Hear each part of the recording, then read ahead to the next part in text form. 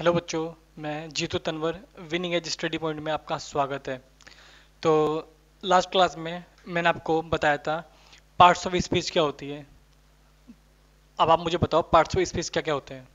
जैसा कि आपने वो बताया first noun second pronoun verb adverb adjective preposition conjunction interjection ये सब क्या है पार्ट्स ऑफ़ स्पीच फिर मैंने आपको बताया था कि अगली क्लास में मैं एक एक टॉपिक को अलग से कराऊँगा। तो आज मैं आपके सामने नाउन लाया ठीक है? नाउन कराऊँगा संज्ञा कराऊँगा और समझाऊँगा आपको बिल्कुल बेसिक कोई प्रेशर नहीं है आपके ऊपर कोई कुछ नहीं फ्री माइंड होकर समझिए आपको बहुत अच्छे समझ में आ जाएगा ठीक है? बस आ, मेरे पढ़ाने के बाद एक बार वीडियो दोबारा देखा करो ताकि रिविजन हो जाए ठीक है? जिससे कि आपके माइंड में कंसेप्ट क्लियर हो जाए। आपको रट्टे नहीं लगाने आपको सीखना है ठीक है? और हाँ प्लीज़ वीडियो को लाइक, शेयर, कमेंट ज़रूर कीजिए। और जिसने चैनल सब्सक्राइब नहीं किया वो प्लीज़ सब्सक्राइब कर देना। थैंक यू भाई। प्लीज़ कर देना यार, ठीक है? आइए टॉपिक पर। देखो नाउन नाउन मैंने आपको लास्ट क्लास में कराया था। नाउन क्या होता है? नाम है तो नाउन है। ये मंत्र याद कर लो। नाम है तो नाउन है, ठीक है? अब देखो, ये तो मैंने आपको लास्ट क्लास में करा दिया था। अब आज कर रहे हैं टाइप्स नाउन कितने टाइप्स के होते हैं? नाउन में क्या क्या आता है, ठीक? फ़र्स्ट प्रॉपर नाउन अब ये प्रॉपर नाउन क्या होता है? प्रॉपर प्रॉपर मतलब पूरा पूरा नाउन पूरा नाउन कैसे? समझ नहीं आ रहा, सर, क्या बोल रहे हो आप? तो समझो भाई, देखो प्रॉपर नाउन एक क्लास में मान लो दस बच्चे हैं, ठीक है? और मैं अज्यूम कर रहा हूँ, दस, दसों के नाम अलग अलग होंगे. अब आप बीच में ये मत बोलना कि, सर, एक क्लास में दो नाम के होते हैं, जैसे राहुल हो गया, एक क्लास में पाँच राहुल मिल जाते हैं, ठीक है? तो उसको अज्यूम मत करो भाई। अज्यूम करते हैं क्लास में दस बच्चे हैं और दसों के नाम अलग है, ठीक है? अब मैं कहता हूँ कि जीतू, खड़े हो जाओ। तो आप मुझे बताइए, जीतू खड़ा होगा या आनंद खड़ा होगा? जीतू ही खड़ा होगा ना भाई। जीतू खड़े हो जाइए तो जीतू खड़ा हो गया, ठीक है? मैंने कहा, सुमित, खड़े हो जाओ। तो सुमित खड़ा हो गया, ठीक है? अब देखो, अब आपको एक चीज़ समझ आ रही है कि मैं, आपको लग रहा हूँ मैं क्या अजीब बात कर रहा हूँ। जिसका नाम लेंगे वही तो खड़ा होगा। तो भाई, मैं कुछ अलग थोड़ी ना बोल रहा हूँ। प्रॉपर नाउन का मतलब ये होता है कि प्रॉपर जिसका नाम लिया जाएगा, जिसको प्रॉपर नाम से नाम से बोला जाएगा, ठीक है? अब, जैसे जीतू, आनंद, सुमित, ये सब क्या है? प्रॉपर नाउन है। यहाँ पे कंप्लीट नाम है, यहाँ पे आपको सोचने की ज़रूरत नहीं पड़ती। मैंने कहा ना, जीतू आपको माइंड में लिखा हाँ उसकी बात चल रही है। मैंने कहा ना, आनंद आपको चलेगा, उसकी बात चल रही है। तो देखो, नाम है तो नाउन है। इसे कहते हैं प्रॉपर और ये आपको और अच्छे समझ में आएगा जब हम आएँगे कॉमन पे। अभी कॉमन देखते हैं। अभी कॉमन से दोबारा आप पे प्रॉपर आऊँगा फिर आपको और अच्छे से क्लियर हो जाएगा कि मैं क्या बोल रहा था। देखो कॉमन नाउन मैंने आपको बताया कि एक क्लास के अंदर दस बच्चे बैठे हुए हैं, ठीक है? तो मैंने कहा, जीतू खड़े हो जाओ। तो जीतू खड़ा हो गया। लेकिन हाँ दस बच्चों में मान लो, आठ लड़के हैं, दो लड़कियाँ हैं। एक क्लास के अंदर दस बच्चे बैठे हुए हैं, आठ लड़के, दो लड़के हैं।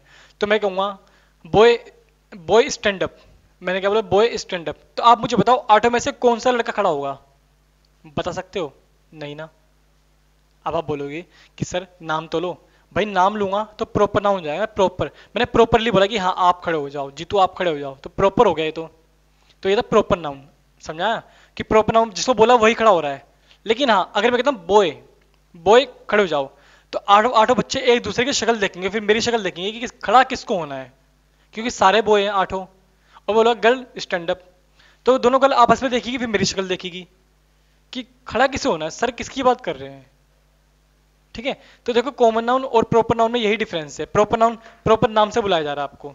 किस चीज़ का नाम है प्रॉपर दिल्ली यूनिवर्सिटी आपको पता है, दिल्ली यूनिवर्सिटी कोई दूसरी नहीं है। बोलूँगा, दिल्ली यूनिवर्सिटी वही आएगी, ठीक है?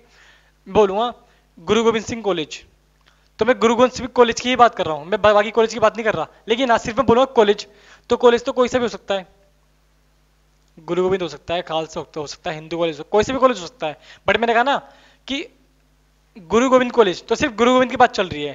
लेकिन जहाँ का कह दिया मैंने कॉलेज तो कॉलेज कोई सा भी हो सकता है। तो देखो प्रॉपर और कॉमन नाउन में सिर्फ़ यही डिफरेंस है कि ये कॉमन होता है सबके लिए, सबको बोला जा सकता है।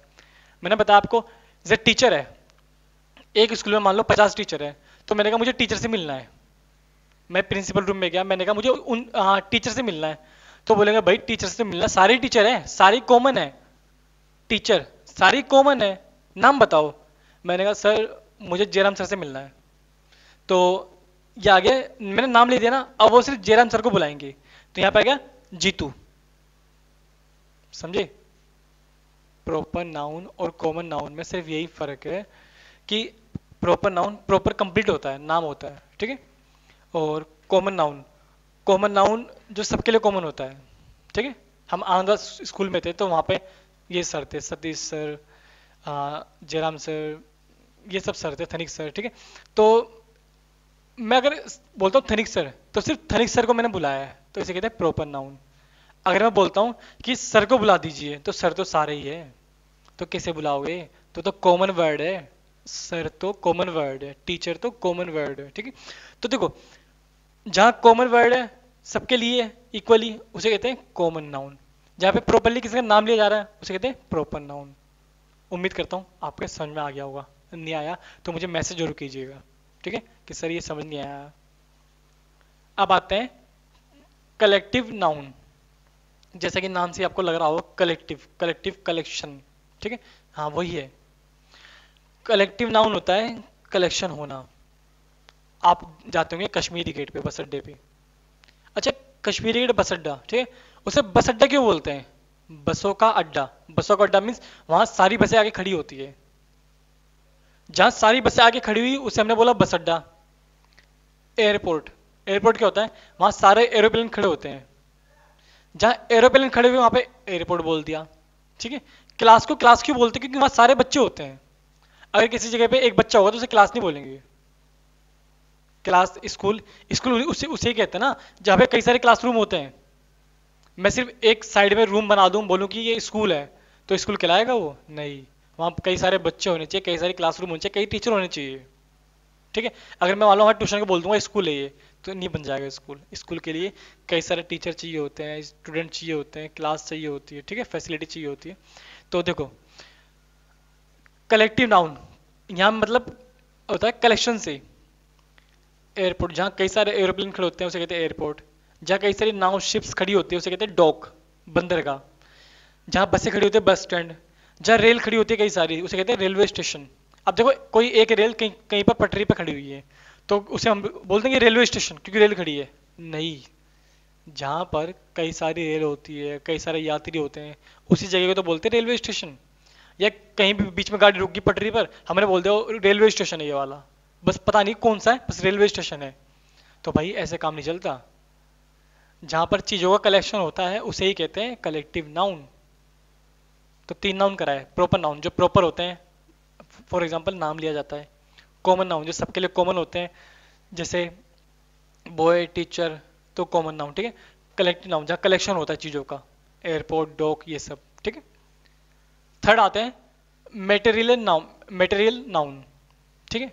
अब नाम से क्लियर आपको मेटेरियल मेटेरियल मतलब कुछ बनाने के लिए, कुछ सामान। जैसे मान लो हम घर बनाते हैं तो घर बनाने के लिए चाहिए होती है ईंटें। ईंट सीमेंट रेता, बदरपुर कंक्रीट सैंड ये हमें चाहिए होता है, ठीक है? तो बेसिक मटेरियल कुछ मटेरियल मिला के कोई नई चीज़ बनती है। कुछ दूसरी चीज़ बनाते हैं। ईंट मिला के घर ईंटों से घर बनता है, सीमेंट से भी घर बनता है, ठीक है? और फॉर एग्ज़ाम्पल गन्ने से चीनी बनती है तो चीनी के लिए क्या मटेरियल है? गन्ना, ठीक है? तो देखो, जो भी बेसिक मटेरियल होता है, जिनसे कुछ नया बनाते हैं हम, उसे क्या बोलते हैं? मेटेरियल नाउन जहाँ पे मैटर की बात आती है, सामान की बात आती है, उसे कहते हैं मेटेरियल नाउन लकड़ी ला के हमने फर्नीचर बनाया तो लकड़ी क्या है? मेटेरियल ठीक है? हमने लोहा टायर हैंडल ला के कार बनाई। उसे कहते हैं मेटेरियल ठीक है? तो कपड़ा ला आ, कपड़ा ला के हमने शर्ट और पैंट बनाई। ठीक है? उसे कहते हैं मेटेरियल तो जिससे कुछ बनता है कुछ मैटर बनता है कुछ सामान बनता है उसे कहते हैं मेटेरियल नाउन ठीक है? तो जब भी आएगा जैसे आपके सामने ईंट आया सीमेंट आया बदरपुर रेता बदर कॉन्क्रीट सैंड ये सब आया तो आप समझ जाओगे मेटेरियल आ रहा है तो मेटेरियल नाउन है ये। ठीक है? अब आता है अगला एब्स्ट्रैक्ट नाउन एब्स्ट्रैक्ट नाउन क्या शो करता है? कई बार ना कुछ फीलिंग्स होती है। जैसे, मैंने कहा आई लव हर मैं उसे प्यार करता हूँ। आई लव हर मैं उसे प्यार करता हूँ। तो यहाँ पे लव ना फीलिंग नहीं है। यहाँ लव एक वर्ब है। प्यार करना। प्यार, देखो, प्यार और प्यार करने में फ़र्क होता है। प्यार की बात कर रहे हो, आप प्यार है, ठीक है? शी इज़ माई लव वह मेरा प्यार है। तो देखो, वहाँ लव एक किसी इंसान के बारे में बात की जा रही है, कि उसकी बात करें वो लव है। फॉर एग्ज़ाम्पल कि मैंने बात की शी इज़ माई लव तो वो मेरा प्यार है। वहाँ किसी इंसान की बात की गई है, लेकिन हाँ आई लव हर मैं उसे प्यार करता हूँ। तो यहाँ वो इंसान नहीं है वर्ब है, काम हो रहा है प्यार करने का। समझ लो तो देखो, यहाँ पे ये वर्ब नहीं है लव यहाँ पे ये नाउन है। लव हेट जैसे हेट आई हेट हिम या तो वर्ब है उससे नफरत करता हूँ, वो नहीं। यहाँ हेट मतलब घृणा। Hate don't keep hate in your mind अपने दिमाग के अंदर घृणा मत रखो, ठीक है? तो यहाँ पे हेट ना, कोई वर्ब नहीं है, यहाँ पे नाउन है। एंगर गुस्सा। गुस्सा क्या है? एक वर्ब सॉरी एक नाउन है, ठीक है? चाइल्डहुड बचपन स्टेट स्टेट मतलब राज्य नहीं है स्टेट मतलब पोजीशन एक आ, समय पैसेज अब देखो क्या है childhood my childhood was awesome awesome मेरा बचपन बहुत अच्छा था ठीक है? तो यहाँ पे देखो किसी एक्शन की या वर्ब की बात नहीं चल रही यहाँ पे उस समय की बात चल रही है उस चीज़ की बात चल रही है कि बचपन. बचपन एक स्थिति एक पोजिशन एक स्टेट है एक पैसेज ऑफ़ टाइम है ठीक है? तो देखो चाइल्डहुड क्या है? नाउन है. एंगर क्या है? नाउन है. हेट क्या है? नाउन है. लव क्या है? नाउन है. जो हमारी फीलिंग्स होती है वो भी नाउन कहलाती है। फीलिंग्स के नाम। हर जगह देखो नाम आ रहे हैं। मैंने आपको पहले बताया, अगर नाउन का मतलब क्या है? नाम है तो नाउन है। There is a name where is a noun ठीक है? मतलब जहाँ भी नाम है, वहाँ नाउन नाउन है। जहाँ पर नाम होगा, वहीं पे नाउ, नाउन होगा। ठीक है? तो उम्मीद करता हूँ आपको समझ में आ गया होगा। और नहीं आया तो प्लीज़ ये मेरा व्हाट्सएप नंबर है मुझे व्हाट्सएप करना और यहाँ पर मुझे इंस्टा आई फॉलो कर सकते हो। जीतो तनवर सी जिस बच्चे के माइंड में कोई डाउट हो, कुछ भी प्रॉब्लम हो तो हिचकिचाना मत, क्योंकि जब तक आप पूछोगे नहीं ना, तब तक आप सीखोगे नहीं। जहाँ आपने पूछना स्टार्ट कर दिया, वहाँ पर सीखना स्टार्ट कर दिया। ये बात याद रखना हमेशा। जहाँ आपने छुपा लिया, वहाँ आपने खुद को बेकार कर लिया। जहाँ आपने पूछ लिया, वहाँ आपको खुद ने खुद को संवार लिया। ठीक है? तो याद रखना, पूछोगे तो आगे बढ़ोगे। छुपा के रखोगे तो वहीं पर रहोगे या पीछे हो जाओगे, आगे नहीं बढ़ पाओगे। तो ज़रूरी है पूछना। तो पूछने के लिए आप मुझे व्हाट्सअप कर सकते हो मेरे नंबर पे, या फिर मुझे इंस्टा आईडी पे फॉलो करके मैसेज कर सकते हो। आपकी चॉइस है बट हाँ रिक्वेस्ट है कि पूछो ज़रूर। कुछ समझ नहीं आता, ज़रूर पूछो आप उसको, ठीक है?